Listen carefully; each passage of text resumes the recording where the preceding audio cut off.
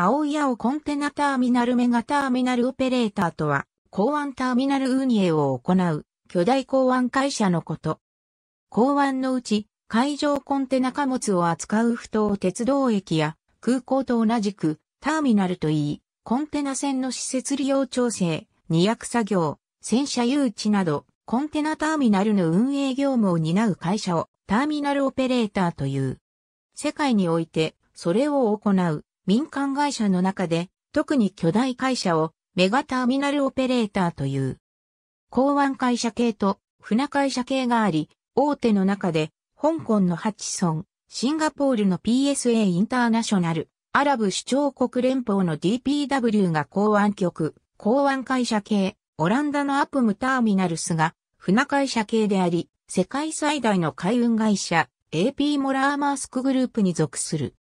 メガターミナルオペレーターについては民間企業の形をとっていても、世界各国においては、港湾会社は極めて公共性が高く、多くの国では港湾を管理するのは、港湾公社や港湾局といった公社、公共企業体である。シンガポールの PSA も、ドバイの DPW も、元は港湾局を海外進出のために民営化したものであり、最終的には国家戦略の一つとして位置づけられているので、公益企業としての一面を必ず持っている。1960年代後半に始まった国際海運のコンテナリゼーションは海陸複合一貫輸送を特色とする物流革命であったが、その潮流の中でコンテナターミナルは海陸を結ぶ結節点として当初から必要不可欠な機能であった。国際コンテナ輸送の黎明期、コンテナターミナルは船会社にとってドア2ドアでコンテナを円滑に輸送する上でのコストセンターとしての位置づけに過ぎなかった。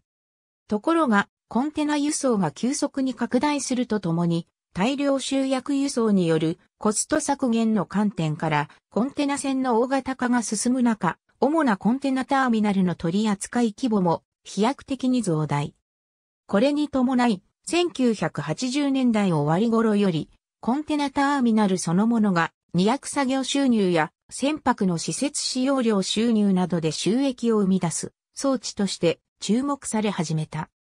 ターミナルビジネスの拡大によって、いくつかの港湾運営会社が世界のターミナル運営権の買収などを繰り返すと、共に戦車のコンテナ輸送、物流戦略と連動した世界規模でのターミナルネットワーク化などを積極的に進め、急激な成長を遂げた。メガターミナルオペレーターの出現である。資本10%未満の拠点は除いてある。ステベドアリング事業、バージ事業での取扱量は除いてある。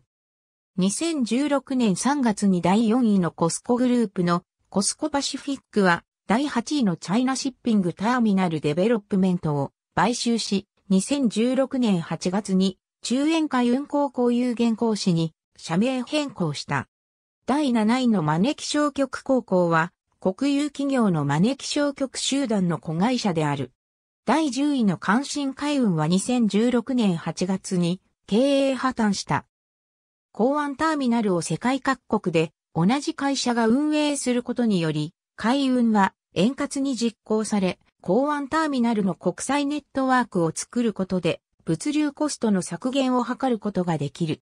また船の港への誘致に有利であり、一国に偏ることによるリスクを避け、情報収集においても利点がある。経営面では、大規模、コンテナターミナルを単一の会社が運営することにより岸壁利用の最適化やガントリークレーン稼働の効率化を図ることが可能になり、同時に港湾労働が宿命的に抱える波動性リスクも最小限に抑制することができる。さらに近隣中古港からの戦略的なトランシップ、貨物集荷によって、母船フィーダー船間で1本のコンテナを2回、2役することになり、収益性向上につなげることができる。世界規模でのメガターミナルオペレーター対等の流れにあって、日本の港湾はこれまで、蚊帳の外の状態が続いた。この理由としては、日本港湾最大の利用者である日本の船会社がターミナルビジネスに積極関与しなかったこと、国内の港湾会社が世界展開するだけの力を持ち合わせていなかったこと、などが挙げられる。メガターミナルオペレーターを主体とする世界的な港湾間競争で負の影響を最も強く受けた日本港湾が神戸港であった。神戸港は1980年代までアジアのみならず、世界トップクラスのコンテナ港湾として繁栄したが、その力の源泉は瀬戸内海及び韓国、中国から小型コンテナ船などを介して集められ、北米、欧州方面の大型コンテナ船に積み替えられるトランシップ貨物にあった。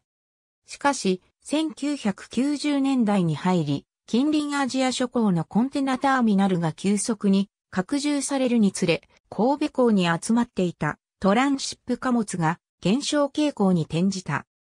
加えて1995年の阪神、淡路大震災で神戸港のコンテナ不当が壊滅的な被害を受けたことにより、瀬戸内の中小港湾の国際コンテナ貨物の多くが、韓国、不山港でのトランシップにシフト。全コンテナ取扱個数に占めるトランシップ貨物の比率は、震災直前の1994年で31.6%だったのが、2006年にわずか1.6%まで激減。国際ハブ港湾としての神戸港の地位はほぼ失われてしまった。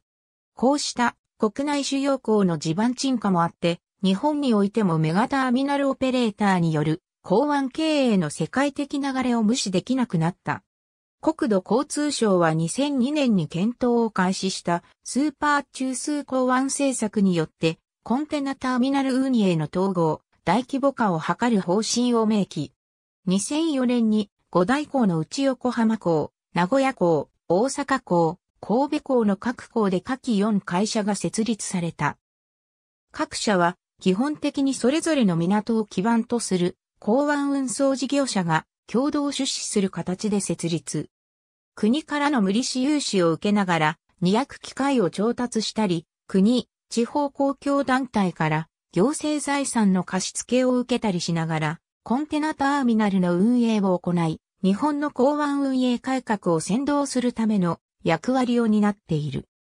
しかしながら各社ともターミナル規模や会社の規模は海外のメガターミナルオペレーターに遠く及ばず、しかも法制上の制約から作業料金設定、収受、利用者との交渉、誘致、二役作業やバース利用調整など収益に直結する中核業務でいずれも主体性を有していない。世界的なネットワークの一部を構成していない点も言うまでもない。このため、日本におけるメガターミナルオペレーターは、実体面で海外のそれとは、全くの別物の単なる施設所有、管理会社と見て差し支えなく、また、世界標準の運営会社に発展できるかどうかも、現状では全く展望が開けていない。なお、スーパー中枢港湾とは別に、日本港湾でメガターミナルオペレーター育成の野心的な試みがなされたのが北九州港、響きコンテナターミナルである。2005年春に供用開始した響きコンテナターミナルの運営では、前出のシンガポール PSA コーポレーションが世界的メガターミナルオペレーターとしては日本港湾の運営に初参入。日本の港湾運送事業者などと共同出資の運営会社、響コンテナターミナル株式会社を設立し、PFI 事業によるターミナル運営に携わった。しかし、取扱い貨物の極度な不振により HCT は2007年7月に大幅に業務を縮小。自社調達した二役機械などを港湾管理者の北九州市に売却し、当初の目論みは不調に終わった。ありがとうございます。